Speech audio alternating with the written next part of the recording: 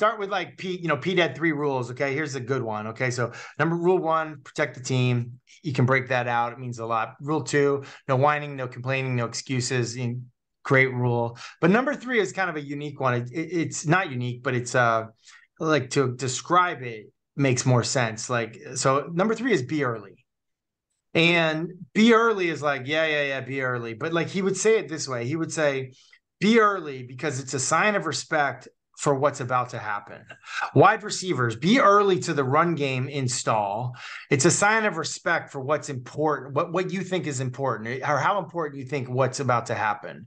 And vice versa, running backs, you know, whoever, you know, be early to the pass game seven on seven install. It's a sign of respect for what's about to happen.